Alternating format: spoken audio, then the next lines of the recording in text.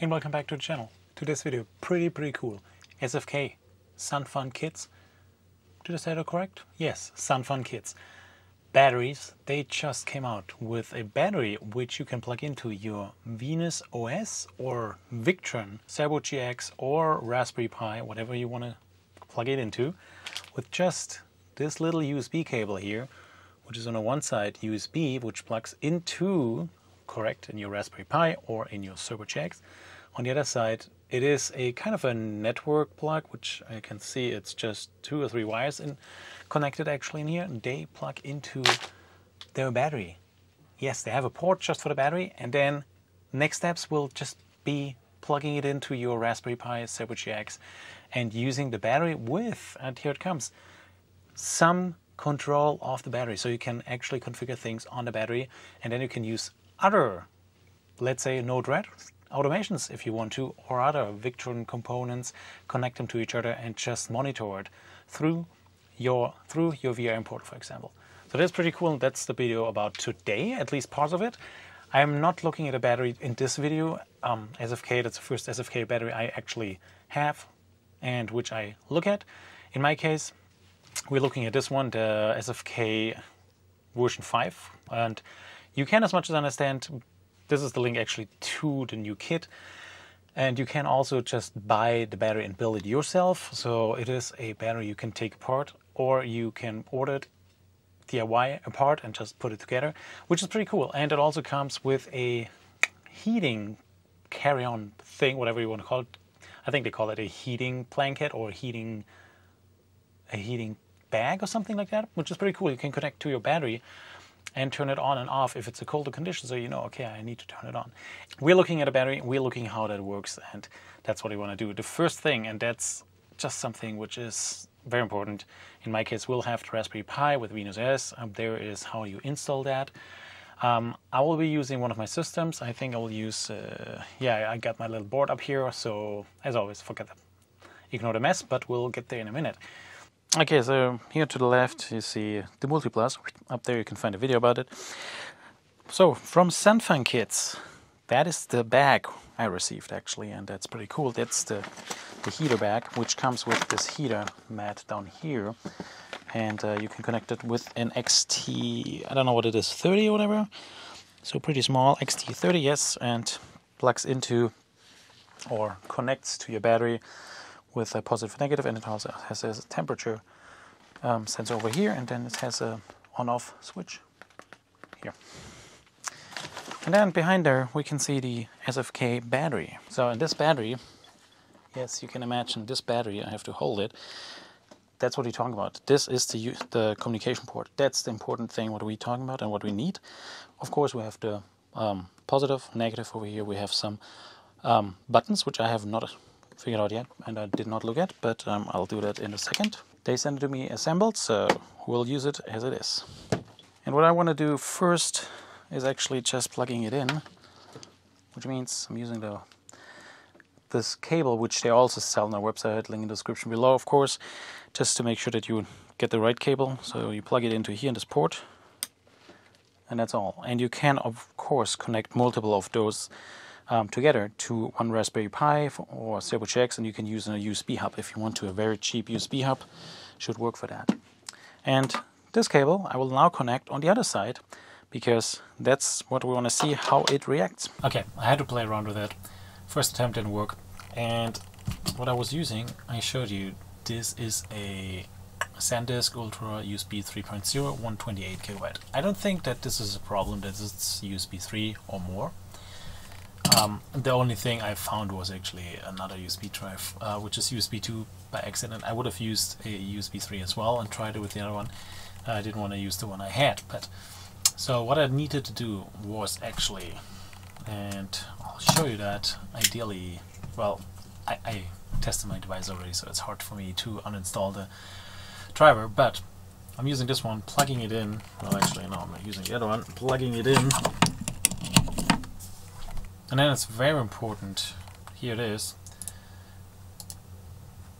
that whatever we do, right click on the USB thumb, which is right here, go on formatting, um, this is German, I'm sorry again, formatting, And then what we want to do is, and then we want to change the file system here, which is on German, sorry, from NTFS to exFAT. Um, or when you have a smaller USB thumb, um, it might just say FA FAT. And I believe Linux, because Raspberry Pi and the Venus OS, especially Venus OS, is based on Linux, um, cannot communicate with NTFS. That's what I understand at least, uh, or at least the um, drivers are missing on the Venus OS, OS operating system. So what you want to do is um, change the formatting to FAT or extended FAT. Um, I'll use the fast formatting. Hit yes, want to double check if that's the right one. It is. Now I'm doing that, and then it's formatted. The next step is you go into that folder, and you've downloaded the file ideally already and then you just copy it in here. And yes this is a hidden folder so you would probably not see it if you don't have it uh, configured. So ignore the system volume information. Ideally you have nothing so you would only see this venus-data.tar.gx uh, gc that's all. And now we want to just safely um, unplug it so that's what I'm doing here take this one out and now we have it now we use it we do not plug in the battery USB cable yet into the Raspberry Pi. Um, I want to highlight this again. Please follow those steps because um, I also read through it a bunch of times. So th those are setting the driver. Of course, first downloading it, and then the next part is copying it without any subfolders, not extracting. And then ideally you just turn off your Raspberry Pi, unplug it, or whatever you do, or hit reboot, and then you plug in the USB into any of those ports which is available, then you start it or reboot the Raspberry Pi and then you just look at a clock. There's nothing happening visually. Just wait three to five minutes. They say two to three. Just wait. Just leave it alone. If that's happened for you, turn it off. Raspberry Pi turning it off. That's the section here. Turn it off and then you unplug your USB again. Very easy. Then you start again the Raspberry Pi by plugging the cable or whatever you have and then you can already plug in the SFK battery. That's pretty much pretty simple. And then as soon as it's up, you might see it or you might not see it, but I can see it here. And I tested on both of my devices, same process as I mentioned. I was using a USB 2. I don't think that has to do anything with that, otherwise the manufacturer would have said anything. But it has to do with the format, uh, for, with the file system, pretty sure, pretty confident. And then you see here, in my case, I can see I of course have an under battery with the smart shunt connected, uh, which is going through a different system. So now I have the SFK battery 6 here. Um, as much as I understand, it's based on the USB port. One thing you should keep in mind, because they highlighted here, once, uh, where is it? Please note, USB 3 port is power only. So this is Cerbo GX related, not Raspberry Pi. But if you're using Cerbo GX, you want to pay attention to that. Uh, in my case, um, I was using a USB hub on the one Raspberry Pi, on the other one I am not, so right now it's connected without a USB hub. But uh, you might need to read this section. For me it is here, so I can see the SFK battery 6. I have a state of charge of 43%, so I can go into here. I can see there's nothing going out. Um, that will be part of the next video for sure. But here we can see it, um, we uh, we can see different things, battery temperature, MOSFET temperature, um, because I think I only have one battery here anyways, uh, sorry, one temperature sensor, I have to double check with that. Because it's nothing consumed, um, it calculates itself, that's all information from the BMS as much as I understand, which is pretty cool. So when I go into details, I see a bunch of information in here. That's pretty dope.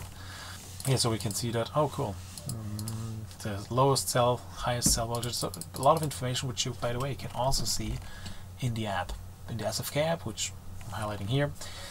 Uh, fairly simple, pretty cool as well. Maybe a screenshot here as well. And then install available capacity. I have a 280 amp hour battery, it looks like. Nice. Then we can also look into the cell voltages. It's pretty neat as well. And then we can see or configure, I believe, alarms as well. Is that correct? Or just... No, just see. I cannot change them. Okay but we can see what else we have. Okay, we have history, zero charge cycles. I haven't done anything, sorry. input output, allow to charge, yes. Those things you can adjust in the app as well. Force charging off, turn balancing off. Pretty cool. What you can do here, man. SFK battery is amazing. And as much as I understand, um, this company's a US-based company. That's rad. I like that. Um, anyhow, so connection. Oh, here we see the connection to the Raspberry Pi USB 5. That's what it's calling out. And here you can also change the name in case you want to. So instead of SFK battery 6, I want to call this one SFK battery, SFK Tobi. Hit enter. Well, everyone knows now this is SFK Tobi battery. Then we can see a couple more information here as well as the serial number. So those are kind of things you can see and I can see here in the VRM portal as well, I'm pretty sure. So speaking about a VRM portal, that is so funny. Uh, it is connected to this one, so let's see if I see anything. Yeah, quite interesting. So, also go to pages here really quick. Since I have two batteries, uh, competing batteries, now installed. You can see here it is using the SFK battery it looks like and I think uh, it, it might get confused here you can see the temperature it might get confused and I have to adjust maybe some uh, configuration if I want to continue using it like that I mean it doesn't make sense for me um, I would probably I would probably go the route um, either have a smart shunt like I have here or maybe I don't need it even with the SFK battery because it comes already with all the features and just need to connect it. That I don't need a smart shunt. I see everything in here. The only thing what might not work and I have to figure it out and that's enough another follow-up video with Node-RED and see how much I can actually use the native stuff of the FSK battery. So this is quite cool I have to, I have to admit. Um, I don't know how, how big the horizon is or how much we can do here but I want to definitely figure that out because here we can see it here. That's, that's the one. Pretty nice. I uh, like it. Yeah. I'm really curious um, if you have any uh, questions about that. Um, I think the installation steps are okay. Um, the only thing what needs to improve is, in my opinion, figuring out um, is it the file system format which needs to be uh, addressed because this is a Raspberry Pi and a Linux-based Venus OS um, installation. So that basically means already that there must be a file system working otherwise the USB thumb will be not recognized by the file system. So I tried a couple times um, with both my devices and that was the solution for me. That's why I'm sharing it. Maybe um, SFK you want to put it in the manual as well. That helps maybe other ones. Um, I hope if you have watched this, let me know what you see want to see in the follow-up videos.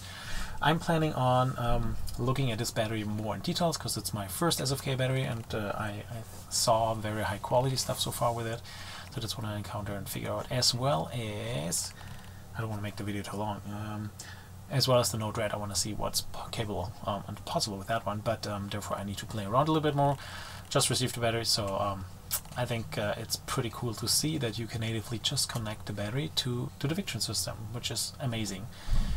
And maybe, maybe not, there might be some other um, automations, alarms, etc. you can configure with this, and that is especially what we want to try here. Yeah, let me know what you think about it. Um, subscribe to the channel if you want to um, follow up with those videos, uh, which are coming out within the next couple of weeks and month. Working on a bunch, bunch of other stuff as well, as well with uh, Node-RED. I, I think I announced already, I do have another uh, product as well coming, and I'm still working on it, which is the GX Tank 140. So that's also another cool thing I still um, need to figure out the sensor situation. So if you have any recommendation for that one, please leave co some comments below. I look forward to the next videos working on those ones. Will be a lot of um, stuff to figure out.